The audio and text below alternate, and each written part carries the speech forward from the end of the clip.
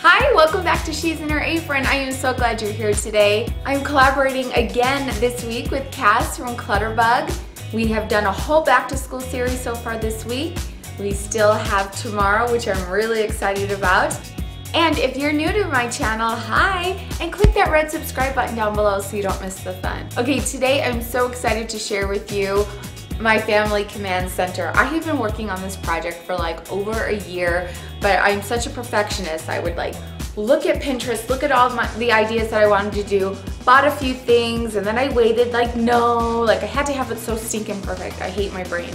But no, I'm gonna show you how easy it is to put together a family command center that can help keep you organized and feel on top of things as a family. So let me show you what I did here in my kitchen. Okay, so I utilized the side of my refrigerator. So all their, the kids' lovely artwork from school is gonna have to go on the garage door. My garage door is magnetized. I usually put things there, but that is definitely gonna be the spot for it this year. And I have an idea of how I wanna display it after I did the video on the memory binder. Click down below if you wanna see it. So if I could pull it off, of course I'm gonna show it and share it with you. So when I was thinking of this command center, there's a lot of pieces to it in the cupboard as well that I'm going to share with you. But when I started, well, when I started, like I said in the intro, like I was such a perfectionist. It was insane. But I sat down last week and I thought, okay, what are the things that I want in a command center? I want a place for the car keys. I want a calendar. I mean, we could sync up our phones and on the calendars and stuff, but I'm so bad at it. Like, something out for everyone to see what we're doing and what's going on. So I wanted place of the car keys. I wanted a family calendar. I wanted a whiteboard that we could scribble things on. And I wanted a place where their chores were shown. Now, a lot of command centers will also have where they put their bills and incoming mail and, and all that, but I do that in my office and I'm going to share my office command center on another video for you. I just kept that separate. So, okay, let me share with you. Okay, you can see here on the top of my refrigerator, I have a printable of the month. Okay, so I love this pattern. I will put the printable for you down below, but I also have it printed out to the rest of 2016, so it goes till December because I love the pattern. I didn't want to have to like try to find it again or find the uh, file on my computer. So they're all magnetized here, so we could all see what's going on, what is happening, who has games, any doctor's appointments, we could all see what's happening that day or that week. And then here I got um, this magnet pad at the Dollar Tree. Love the Dollar Tree. And this is where I write um, food that we are out of. So when I'm here in the kitchen and I'm in the fridge, I'm in the pantry, I'm like, oh, we're out of this, we're out of that. I could write it down very quickly so I don't have to try to remember later. And this cute little weird, I have no idea, maybe he was a pilgrim, I have no idea. But that is my grandmother's magnet that she had on her fridge that I grew up as a child. And it looked way better back in its day. And I don't know, it looked like it's something that she made.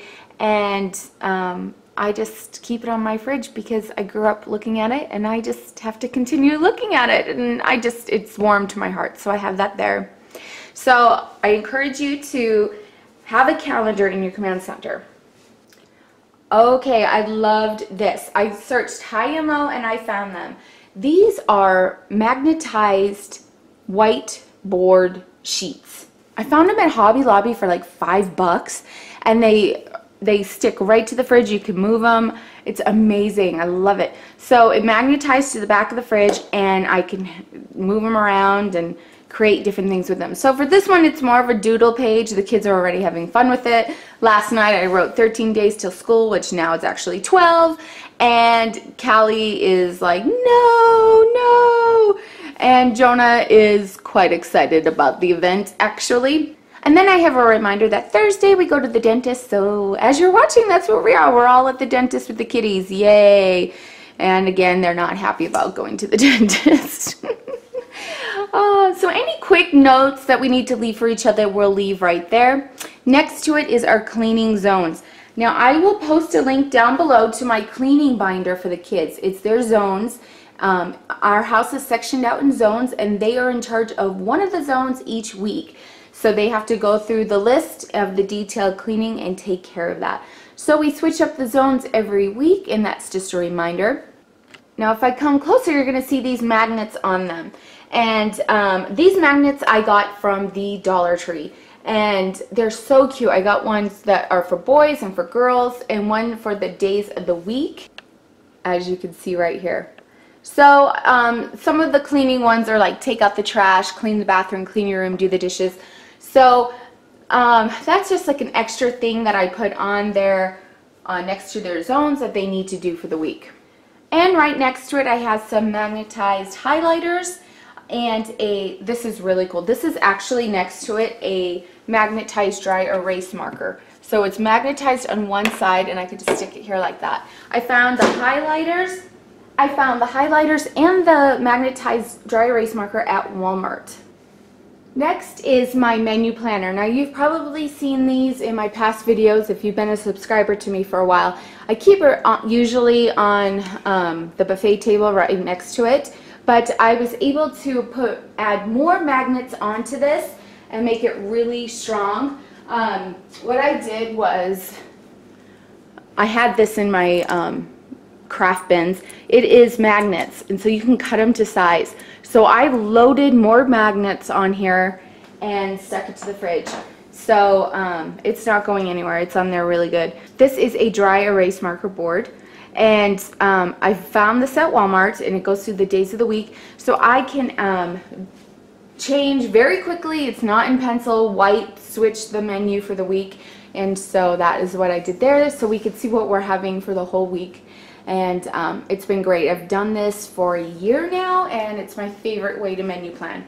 And then that way everybody can see what we're having for dinner and be involved in what we're having for dinner and I just love seeing it out in the open. So when I'm walking through my kitchen for like the 20th millionth time of the day, I'm always reminded what is dinner and I can't forget that I've got to plan for dinner. Now I'm going to share with you how I utilize the inside of the cupboard here next to the refrigerator. As part of the command center, I have my duties that I do in the home and I taped them on the inside of this cupboard. Now you've seen my morning and night routine sheets and I, I'll post the vlog, the video to that down below.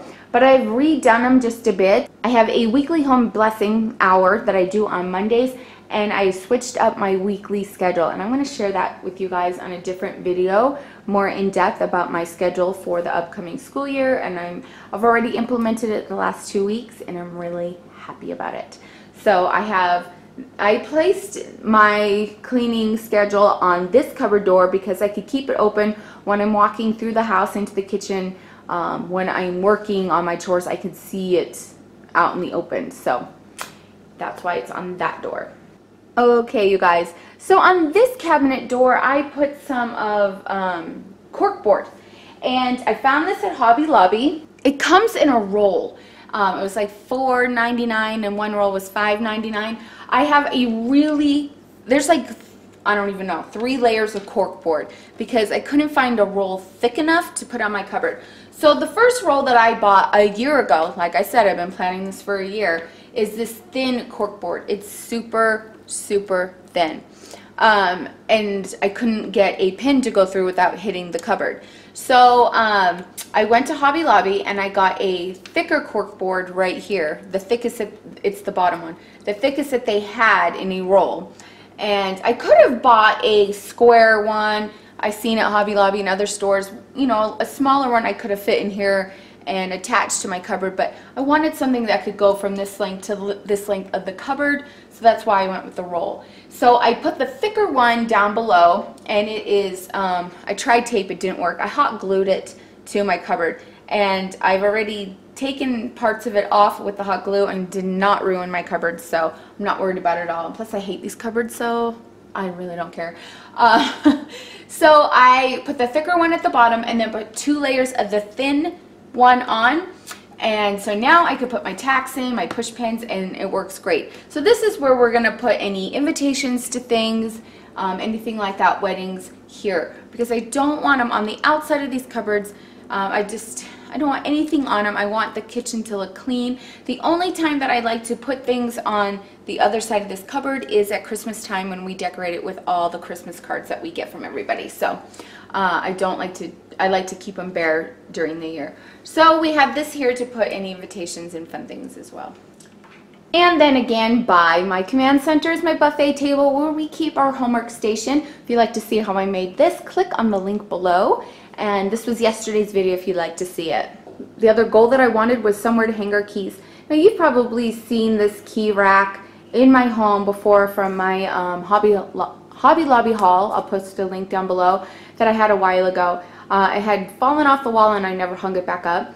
Uh, it's back on the wall and this is where we keep our keys. And then I just made a cute little welcome home card right there just to spruce it up a bit. So now when we come in through the garage, right here, we can hang up our keys. The kids can put their backpacks um, away. Now someone asked me in yesterday's vlog, why don't I keep the shoes here? I don't store the shoes here because I really don't want to make my kitchen any more cluttered than it can be. So I store the shoes by the front door. Even though it's not the spot where we mostly go out, it's a convenient spot for me over by the front door. And let me show, show you. Okay, over here by my front door, I have this table. And um, I put these bins underneath it for our shoes. It's been working out really great. Um, I thought of maybe labeling one Callie, Jonah, Boston, Shaylee uh, for all my kids, but no, it's like when you come in, just throw them in the buckets. I don't care which one, just throw them in. Uh, and so when they clean and do their zone, they just make sure the the um, shoes are in the in the buckets, and then when they get too full like this, so whoever has this zone has to get their shoes back to the people's rooms, um, and because they, they just get too full. So they do need to be emptied out.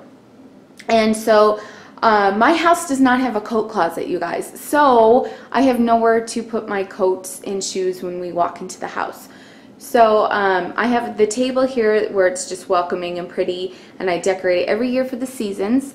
Um, so I have this for our shoes and then I have a coat rack right by the front door. And so all our winter coats and stuff hang here.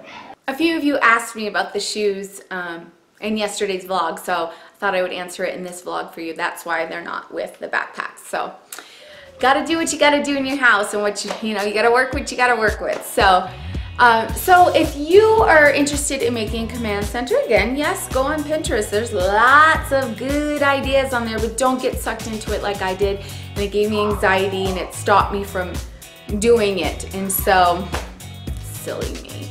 So um, it doesn't have to be big, it doesn't have to be grandioso. You could just take one section on your counter if you have a little counter.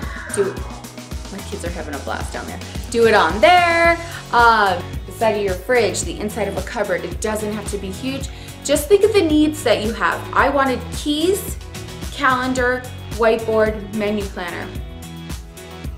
And I made it happen. So, and you can too.